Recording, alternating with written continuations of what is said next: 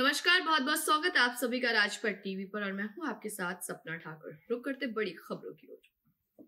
अन्योर बड़ी परिक्रमा, मार्ग राधा गोपाल श्री कृष्ण शरणम में मंदिर से प्रसिद्ध गाना का आयोजन किया गया, जहाँ पे होली खेली गई और होली खेल भक्तों संग होली उत्सव मनाया गया। पर्यावरण संरक्षण और जल संरक्षण के उद्देश्य से फूलों की होली का आयोजन किया गया। राधा कृष्ण मंदिर में फूल बंगला, फूलों की होली, फाग महोत्सव, होली गीत राधा कृष्ण फूल संग होली खेली गई। सुप्रसिद्ध भजन गायक चित्र विचित्र महाराज जी ने पागल बाबा और साथ ही मनोहरी उनकी छवि पर उत्सव मनाया और गीत गाए और साथ ही श्रद्धालुओं ने भी होली का जमकर लुत्फ उठाया। माहौल ऐसा कि हर तरफ़ से उत्साह ही उत्साह नज़र आ रहा था। भक्तों से लेकर भगवान तक फूलों की होली में मग्न नज़र आए।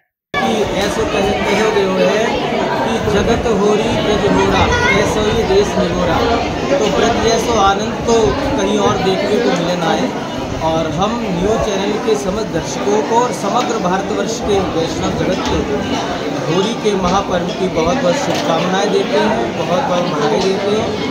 श्री बाके बिहारी जी के प्रेम का रंग समस्त जीवों को लगे, सब प्रेम सौहार्द से रहें और अपने सनातन के, सनातन धर्म की रक्षा के लिए अपने को तैयार रखें और सनातन धर्म की रक्षा के लिए तत्पर रहे, यही होली का संदेश आप सबके लिए। उन्नाव से होली का हुड़दंग निकाला गया, जहाँ मेले का आयोजन हुआ, जहाँ छोटे बड़े सभी लोग इसमें मौजूद रहे। गुलाल रंग लगाकर एक दूसरे से गले मिले और एक दूसरे का सम्मान किया। छोटू ने बड़ों के पैर छुए और आशीर्वाद लिए। मामला जिला उन्नाव बड़े चौराहे पर लगी बड़े मंदिर के होली की झांकियाँ निकाली गई, उसका एक पूरा मामला है।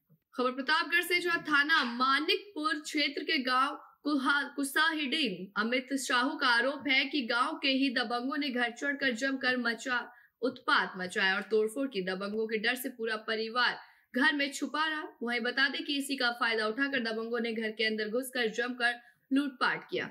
घर के गहनों समेत नकदी पर हाथ साफ़ कर दिया और जान से मार देने की धमकी देते हुए फरार हो गए।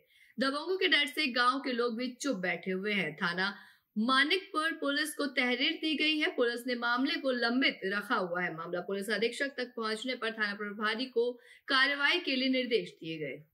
बाज़ार खाना थाना क्षेत्र के भरतपुरी में दबंगों ने होली के दिन देर रात तोड़फोड़ और जमकर तांडव मचाया। सरकारी संपत्ति के साथ लोगों के घरों में तोड़फोड़ की। एक से दो मोहल्ले में लड़कों के साथ 20-25 से ज़्यादा बाहरी लड़कों ने जमकर बवाल किया। घटना का वीडियो सामने आया है, जहाँ होली के दिन पुलिस की बड़ी लापरवाही देखी गई। होली के दिन बहुत ही बड़ी घटना हो सकती थी, लेकिन मोहल्ले वालों ने बवाल करने वालों को देखकर दरवाज़ा बंद कर दिया। ऐसी तमाम बड़ी खबरों के लिए देखते रहिए राजपथ टीवी। सबसे पहले भारत।